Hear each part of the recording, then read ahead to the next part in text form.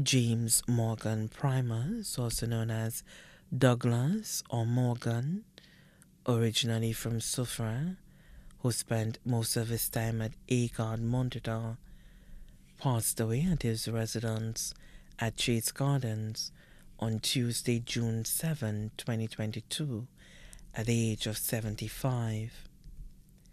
The funeral arrangements for the late James Morgan Primus, also known as Douglas or Morgan, will be announced in a subsequent broadcast.